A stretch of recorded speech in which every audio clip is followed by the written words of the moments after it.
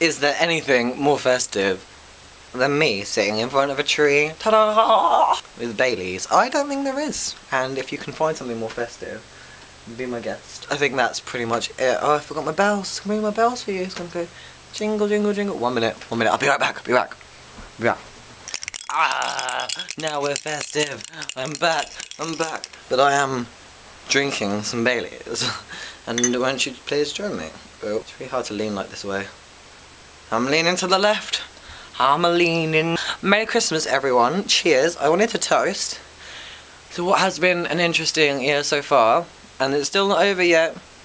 I am seeing my sister and future brother-in-law for Christmas. Should be very nice with my parents.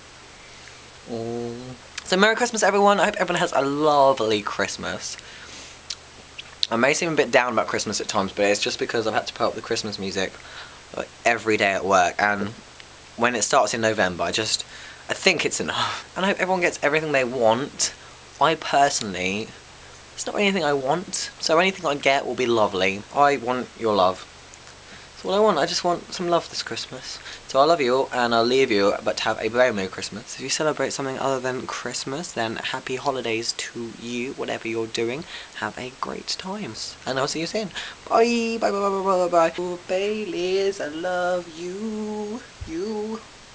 I'm getting into the Christmas spirit.